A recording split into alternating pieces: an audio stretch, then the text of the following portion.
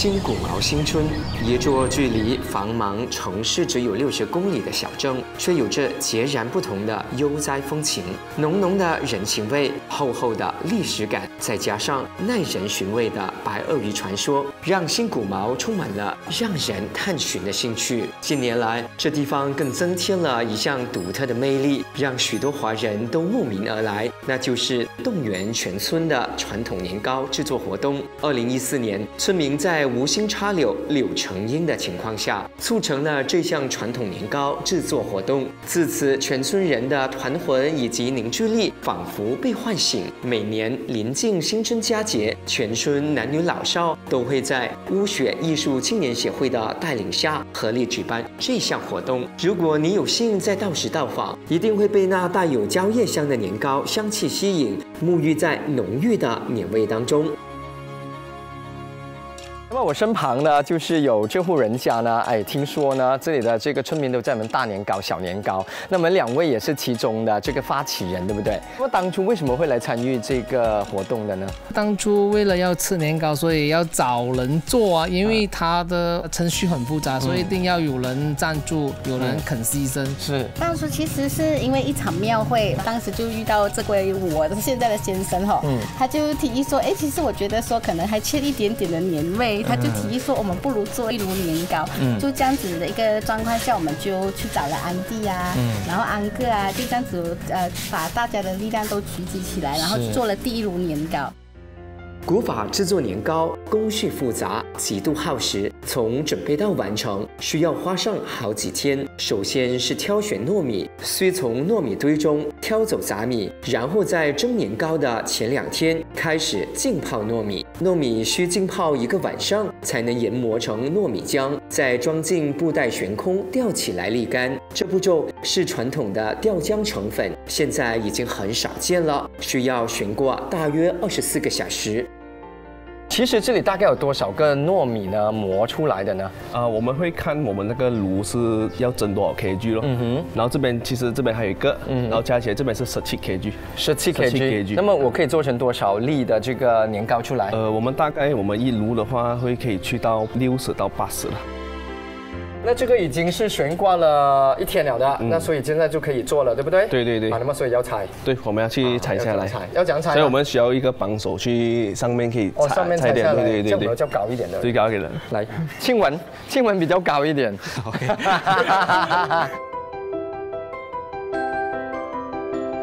传统工序浸泡、研磨、吊浆虽然耗时，但是制作出来的糯米粉却非常幼滑。把布袋打开之后，可以看见糯米浆的水分已沥干，变成了糯米粉团。只要轻轻一掰，就碎成糯米粉了。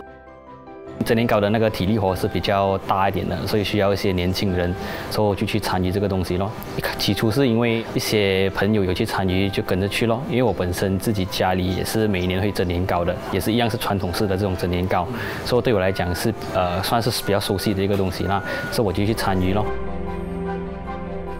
好，大概就是捏成的这个小块了了哈，现在已经就是不会太大块，然后我们就要加糖啊。啊，对，哦，OK。那么糖你们怎样拿捏呢？糖的分量我们有所调整了的，其实以前人来讲，他们的呃糯米的分量是一比一的，甚至更多。嗯，我们是有控制到零点啊多一，就是以下的不会没有到一的，就比较健康的啦，比较健康一点的。是好。可是年糕的怎样怎样都好，都是会有甜的，不然年糕就就没有味道了，就没味道了。好。再将糯米粉团放入干净的大盆中，并掰碎成粉之后，加入白糖。倒糖的同时，还需不断用手揉搓糯米粉。过程中无需加水，只需不停地揉搓搅拌，将白糖和糯米粉融合在一起。当白糖彻底融化融合之后，就会变成粘稠的糯米浓浆。传统年糕都是使用白糖，而并非黄糖或者是椰糖之类的。除了因为不同的糖会导致年糕的口味有所不同之外，还因为人们特别喜欢欣赏年糕在蒸煮的时候由白转黄的过程。哇，你可以看得到吗？现在呢，已经变成了僵了，其实还可以看到很多小颗粒的了，还没均匀的。所以现在呢，我们就要慢慢搓它，让它均匀一点，对不对？对对。那我想问一下，因为呃，好像我们搓汤圆啊什么，我们都是用这个蘸米粉嘛，对不对？嗯。那也是糯米搅成的嘛，为什么不可以用那个呢？呃，那个味道有点不一样，因为之前我们试过是用呃一点点来做，给自己试一下味道，这样来研究一下啦。呃，味道是这个是真的是有点不一样。那些吃了那个那种老人家们呢，吃一点点他们就一点不一样，就知道了的，就不是古早味了。对对对，不是古早。所以还是要用糯米这样去磨成粉比较好一点啦。对对对。古法蒸年糕不容易，除了时间长、功夫多，还有很多禁忌。比如说，怀孕和正值生理期的女性都不可参与制作年糕，否则年糕会变丑或者制作失败。制作期间也必须口说吉祥话，但是不能称赞年糕做的漂亮，否则蒸出来的年糕会凹凸不平。由于据说年糕蒸失败的话代表不吉祥，所以华人都会谨遵老一辈的教诲。好，那么其实呢，我们这两盆的糯米浆就已经 OK 了，已经看到那颗粒呢已经没有那么大了。那么现在我们就要迁移到另外一个的锅，哈，比较大的，好，就倒进去。来，我们自己倒。浓稠的糯米粉浆被转移至铁汤锅，以便之后进行制作年糕的重头戏——蒸煮。不过，在蒸煮年糕之前，除了处理糯米的部分，还有柴火、香蕉叶和竹筒也需要采集和处理，这些都要靠村民们分工合作来完成。尽管过程耗时又耗力，村民们依然每年都会尽心尽力地将每个步骤做。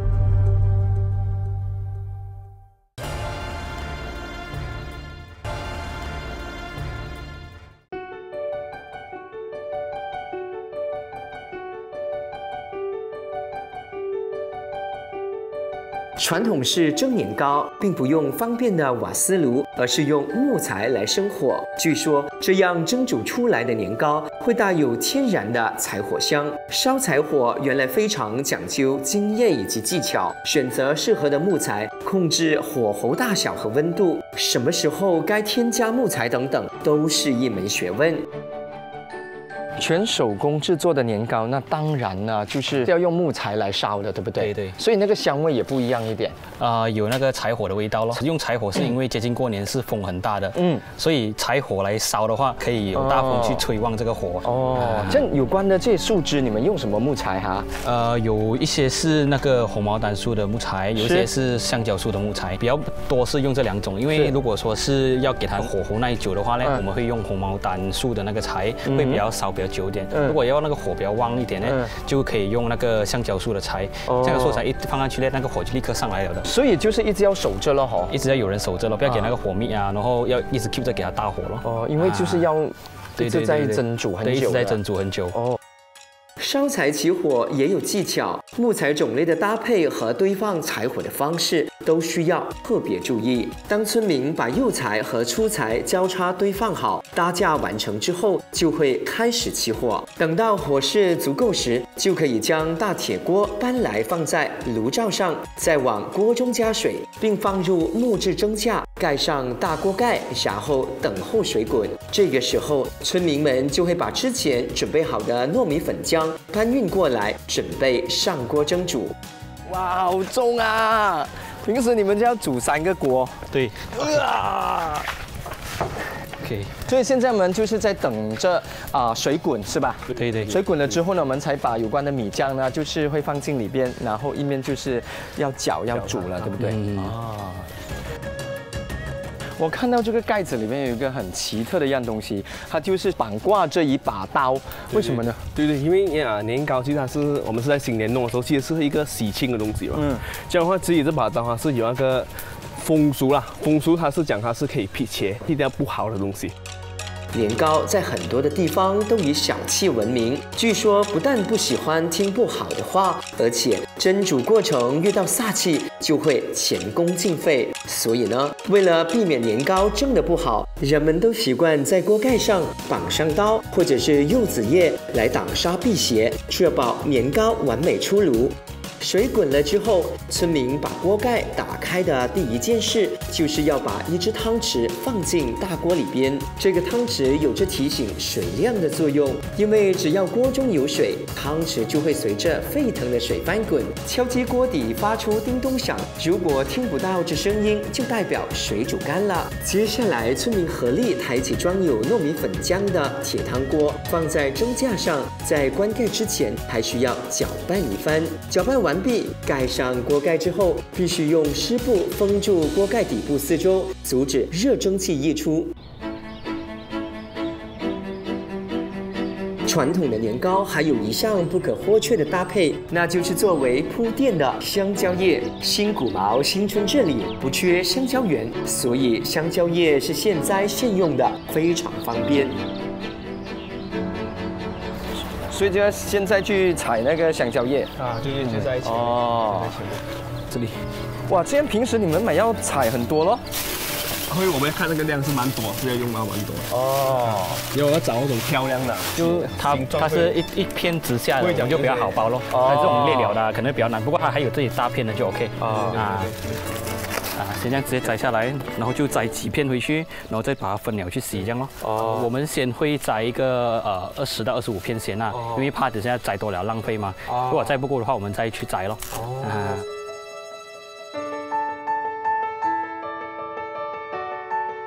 采集足够的香蕉叶之后，村民们需要花费一段时间来处理香蕉叶。他们需要将香蕉叶的茎部和叶子分开，只保留叶子的部分。这个步骤非常耗时，往往需要大半天的时间。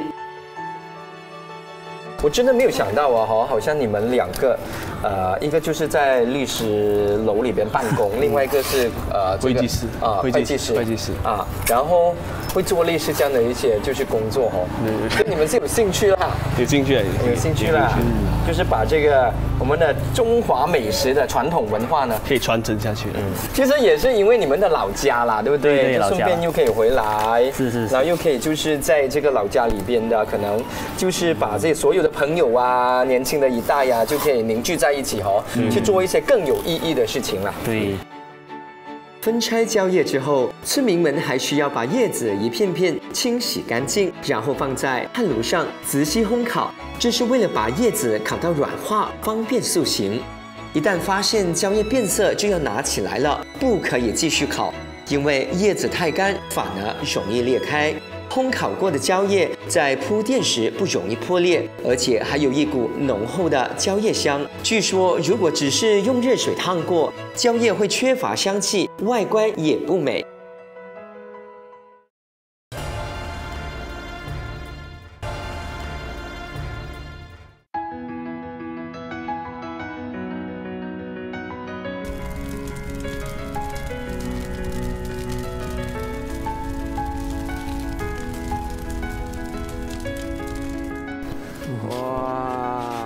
它还没有变颜色的哈，还没有变，还没有变。哦，所以就是要搅它了啦，就这样搅拌它。我们一直这样搅，这样搅，因为我们主要是不要给它旁边去弄掉，哦，所以我们这样搅拌，一直搅拌它。因为上面会先凝固了的，它里面还是比较水的，对，所以一直要把它就是均匀。均匀了，哦，就受热均匀了哈，不然的话旁边的就熟透了之后可能会烧焦，比较黄一点啊。这样要要搅拌搅拌多久？啊，搅拌到你看到颜色差不多了，就可以再盖回去再蒸锅了。哦。从乳白色到变成黄褐色的年糕，大约需要蒸煮十八到二十二个小时，期间完全不能断火，必须小心添柴，确保火候适中，并且每隔一段时间就必须打开锅盖搅拌，以及在蒸锅中加水，确保蒸煮过程顺利。随着时间推移，年糕会变得越来越浓稠，搅拌也会越来越费力。新古毛新村制作的年糕还有一项特点，那就是竹筒。为了响应环保，多年来他们都坚持使用竹筒来装年糕。这项坚持也让原本就繁琐的年糕制作，再添费力的工序——砍竹、晒竹和洗竹筒。所以现在呢，我们昨天烤完了的这个香蕉的这个树叶已经在这里了哈。嗯。然后是怎样包呢？通常我们会剪先剪一小片出来，哦，剪一小片啊，这样剪一小片出来。哦。然后它中间的这个梗不要掉，不要掉。然后把照着这个竹筒的圆 size 来大概剪一个圆形，铺它做底咯。哦。铺完底部之后，再取一片较长的香蕉叶塞入竹筒内，铺垫竹筒内壁，并沿着竹筒顶部反折。如果一片不够，就再补充香蕉叶，直到竹筒内壁没有缝隙为止。铺垫完成之后，先用塑胶袋将竹筒顶部的香蕉叶固定起来，然后把竹筒外围的蕉叶修剪整齐，再用红色贴纸将蕉叶和竹筒粘在一起。那现在最后一个工序呢，那就是当然把你们的品牌呢贴上去了，对不对？对，那就是这个了，成年。那成年什么意思？来讲多一次。OK，成年是继承这个年味咯，年糕的味道，还有是承载我们这个这帮年轻人的热血了。哇，好有意就改了这个名字，然后会把这个 logo 底塞到红色，是因为呃新年是呃用年糕的嘛，对，很多人会贴福字啊、旺字啊，嗯，所以我们把它改去我们的品牌，然后也是有红色的那个搁在那边，是。给人家看到是一个呃有喜庆的一个感觉了。哎，所以买的时候是整个对整个竹筒竹筒拿走的啊，然后过后其实可以环保，它可以拿来做笔筒或者拿来装饰的，对呀，就是一个环保的概念咯。哇，所以你看他们的构思多么的用心，其实呢都是废物利用来的。那么一般像我们买年糕呢，就是有香蕉叶中包着就拿走嘛，对不对？但是这个呢，连这个竹筒也可以拿走，你知不知道砍这个竹筒多辛苦？是。那现在呢，也来到第二天了哈。对对，就是蒸煮了二十二个小时的。是是。那所以它是变成那个黄色黄色，变成巧克力色。巧克力色。对对对。啊，那褐色啦。褐色褐色。哇，好漂亮啊！大家可以看到吗？然后现在是要搅它的是吧？对，是要搅它。哦，我可以搅它吗？嗯，你可以，你 try 看。真的。它是要呃蛮大的体力的啦，你 try 看。是啊。比较浓稠了咯，对对，比较浓稠了。哎，可是为什么我要这样去搅呢？啊，给它均匀咯，然后均匀浸灌的时候，它就呃颜色就比较美一点嘛。因为它现在有表面可能会比较呃巧克力点，它里面就比较浅点颜色。哦，所以要一直搅。对对对。搅多久哦？呃，给它颜色均匀咯。你看它那个也有一条条。还不均匀呢？还不均匀呢。哦，所以搅成这样呢，就是表示它的这个颜色均匀了。对，你可以看到它的颜色是平均了的。哦，好像你看看，现在可以吃了的，可以吃了的，我可以试吃啊，可以。啊啊，一点点，不一点都太烫。哎，很香哦。所以这第一口年糕是呃最好吃的，最好吃的。为什么呢？如果它凝固冷却了之后，它凝固冷却了就少了一种那个年糕刚出炉的那种香气。哦。啊，所以你一边闻着它的香气，一边吃，我们小时候最喜欢做的事情。嗯。一边煮这样一边来吃啊。啊，然后婆婆在煮这的时候，我们就拿筷子去挖来吃哦。哦哦哦。好了，我们这个年糕已经蒸煮好了，那现在我们要把它放进这个竹筒。对，刚刚我们已经包好了啦。是是是。好，你怎样放呢？拿那个两个呃这样的容器，啊哈，把它拿上来，啊，这样就转，就转。哎，好像吃多多嘞。拿多多这样，啊，这样多多点哦，就这样。哦，这样把它装放进去，要等多久它才会真正硬化呢？我们看，呃，这样的程度应该是一天到两天，它就会完全硬化了。还要一天到两天？对对对，我来试一下可以吗？我小心烫啊，一年到的时候就很烫了，那个手会烫伤。我贪心。OK 啊，然后你就稳住手。新古毛村制作的年糕可分为大、中、小三种尺寸。由于过去传统年糕都是装在牛奶罐里，所以他们也用牛奶罐作为计算单位。小的年糕等同于一个牛奶罐分量，中的年糕等同于一个半的牛奶罐分量，大的年糕呢，则等同于两个牛奶罐分量。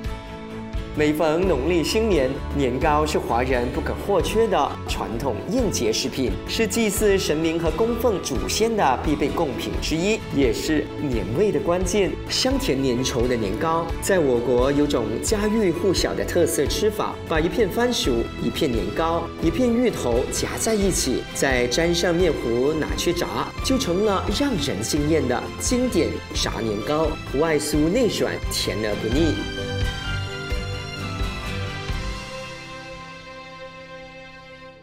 新古毛的这个全手工的年糕已经做好了哈，我们就看到一桶一桶，真的是非常漂亮的。那这个就是可以拿出去卖了的。对对，这已经是成品了，成品了的。有些时候呢，就是你们在做庙会的时候呢，你们也会给一些村民他们吃的。嗯嗯，对。所以在新年的时候呢，啊，这里的村民每一个都可以吃到年糕了，就是当本地村里面人整的年糕咯。哦。啊，因为以前这里的呃本村全部每家每户都会蒸年糕。都会整的。啊，客家话叫泰隆起了，所以就一大笼这样子蒸的。变到说现在很多老人家可能是年轻人很多外流啊，就没有能力再蒸了，因为可以看到那个呃程序是很多，蛮要吃体力的。所以现在说呃每年一一年一次，我们就会蒸给呃本村的一个气息，给他一点新年的气氛啊。然后你们这里的吃法呢也有不同的，对不对？对对，有两种吃法咯。是啊，一种是 炸的，然后一种是刚出炉就拿来沾椰丝。好，我们来试一下可以吗？可以可以，是的。好像这个麦芽棒哎。啊。这样转啊，然后你去蘸这个椰丝啊，它这个椰丝呢，它有混了一点点的糖，掉那掉那个味道。哦，因为放了一点点的这个咸味哦，其实有关的这个鲜味或甜味会更好，更好啊。然后味道是香多多啦，它的嚼劲那种。因为那年糕呢，因为之前我问过嘛，不会太甜，嗯，但是还有这个甜香味，嗯，再加上椰丝呢，有一点盐，是是咸咸的味道。当你咬进去的时候呢，咬到这个椰丝，椰丝呢，因为它有这个椰汁嘛，出来再混合这个咸味，再混合了这个年糕的香味，哇，一级棒。除了这种呢，就是年糕沾椰丝之外呢，那还有一种传统式的了，我相信大家都有吃过的哈，在路边摊呢，就是可能会用这个芋头、番薯。然后呃夹制年糕，然后去炸，是是，OK。这种炸年糕呢，老实说，我第一次看这么大块的啦。你是觉得我很饿是？是足料嘛？足啊，分量足够嘛？这里村的人都是吃这么大对，都是吃这么大块的哦。因为新古堡好像现在比较是乡村地区嘛，所以这样我们需要一个呃新古堡特点的东西咯。像特点特点呢，就是可能就是年糕，就是可以带动我们的那个新古堡的经济，可以慢慢的这样发展起来啊。其实之前对我来说，呃，年糕这只是拜神的一样东西来的，然后就是也不会去吃到这个东西，是因为有做年糕这个东西，吃到那个当下出炉的那一那一个那一口的年糕，是真的是呃吃不到的，吃不到那个感觉的。就是一出炉一出炉的时候，我们家里也是这样啦，就直接挖来吃了的，就喜欢吃那种感觉。年糕除了有着年年糕的寓意，也有着团圆凝聚的意思。在新古毛新村，年糕确确实实展现了它的凝聚力。平时留守新村的大多数是老人和小孩，年轻人都在外工作或者是念书，唯有新年或者是大节日才会回家团聚。这个需要大量人力的传统年糕制作活动的出现，不但让传统文化薪火相传，也将两代人凝聚在一起。既拉近了年轻人与年长者的距离，更加深了他们对传统文化的了解，传承的热血精神也因此犹如星星之火，在这个新春开启了燎原之势。